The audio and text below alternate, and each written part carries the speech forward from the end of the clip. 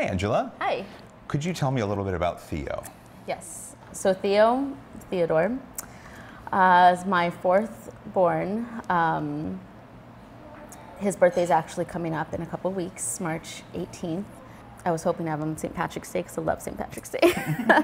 but he was on his own schedule, and that's okay.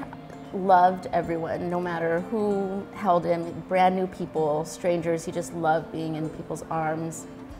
He was always so smiley. He smiled at me the first day, the day he was born in the hospital. he was smiling at me. It sounds like Theo was just wonderful. Just a wonderful little baby from the get go. He was. Now, I know Theo's time on this earth was short, Mm-hmm. and when October came around, I believe in our conversations, Mm-hmm. the hospital had something for you. Can you talk a little bit about that? Yeah, so um, Theo passed away on July 12th. About a week before it turned four months. He was actually in the hospital for about three days before he passed. Obviously, we didn't know what what to do or what we wanted. The hospital was asking if we wanted some of his hair. We didn't have much hair. They gave us his footprints and his handprints, and then they asked if, he, if we wanted a plaster mm-hmm. cast of his hands and feet, or his hand and foot. So they gave us this beautiful plaster cast of his hand and his foot.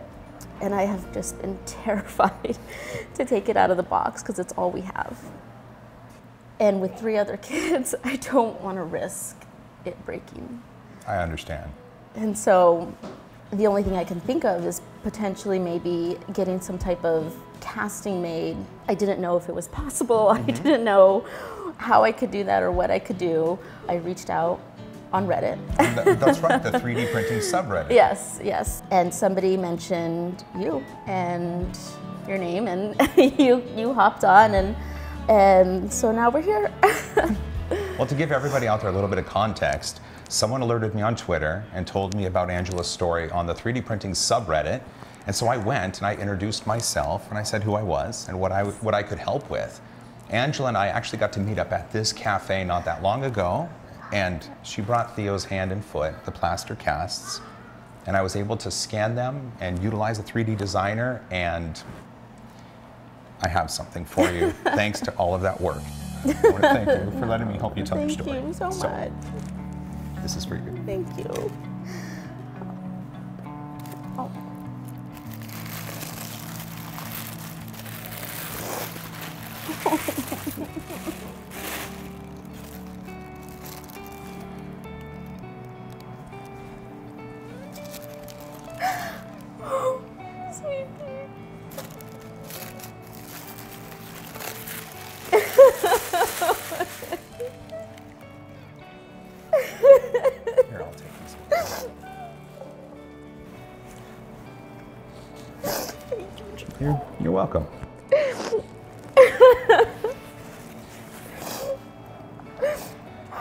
Sweet. it's like exact. It's just so beautiful and it's so soft. I just wasn't expecting it to be so soft. So part of what we wanted to do is is bring about your memory of Theo and have it better represented. And so we used a material that's a little bit soft to the touch, but still is resilient. And so you shouldn't have any worry about these being displayed with his memorial. Oh, and so my kids haven't even ever seen these before.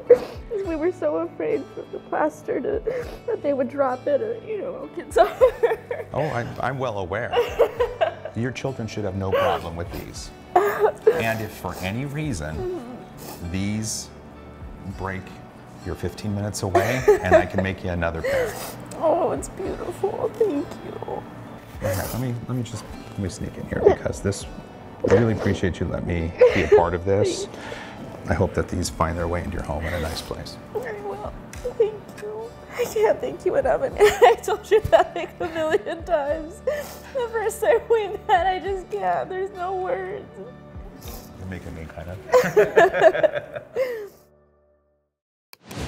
That was, quite honestly, one of the most amazing moments I've had in being a part of 3D Printing Nerd. And it still to this day amazes me the reach into humanity and love and warmth that 3D printing can offer us. Now, I, I kind of want to take you through the process of how all of this was done because it wasn't that difficult and the product of it was amazing. And it's something that I think more of us can attempt to do. So at first, I met up with Angela at Cafe Aroma and she brought the plaster casts to me. And I used Polycam on my iPhone and I also used the Photos app in order to take pictures. So Polycam created a rudimentary three-dimensional model and saved it out as an STL. And then pictures from my phone were taken from different angles, along with photos using a tape measure, so we had reference to scale. And that complete package was sent over to Morgan, who is also maybe better known as Printed Obsession, one of Fotis Mint's mentors and an amazing 3D sculptor. He took this information, these plaster casts that had plaster bits in places and they weren't perfect in all the features they represented, and created essentially what these plaster casts meant to Angela in her mind. Really quickly, right after that, I had these STLs available. One of Theo's hand and one of Theo's little foot.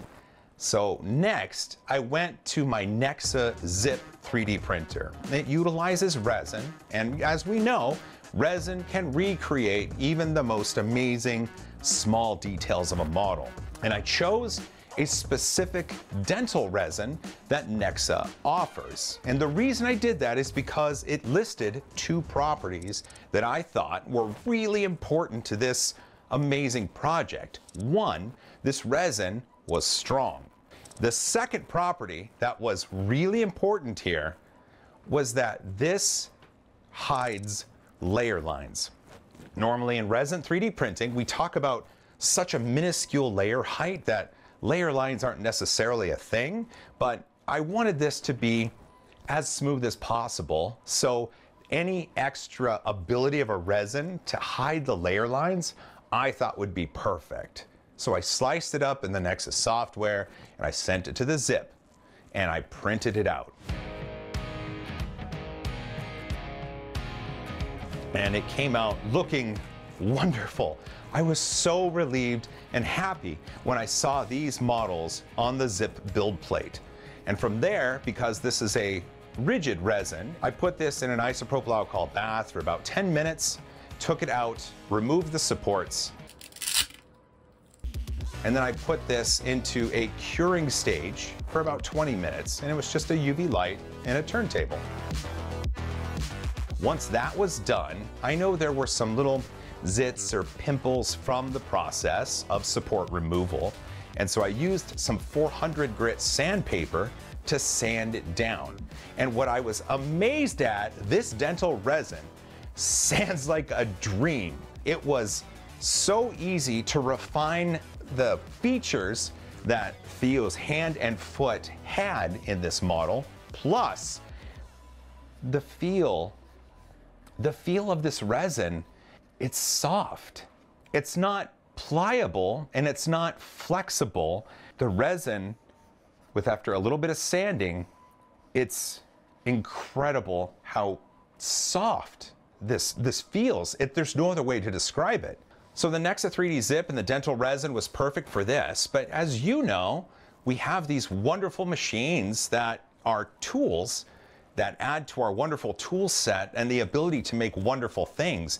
And so it could be that the machine you have in your classroom, your workspace, your garage, your after school program, it could be the machine that does something you're not expecting to do and produces something that changes someone's life. It's also really crazy to think that this was a post on the 3D printing subreddit. And so this was just a project that really the community made happen. And it's so great being a part of this wonderful community. And I'm really glad to have you along for the ride. I'm also really glad you've made it this far because if you did, you're awesome. Don't forget to hug each other more, fight for a cause you believe in, print wonderful things, and as always, high five.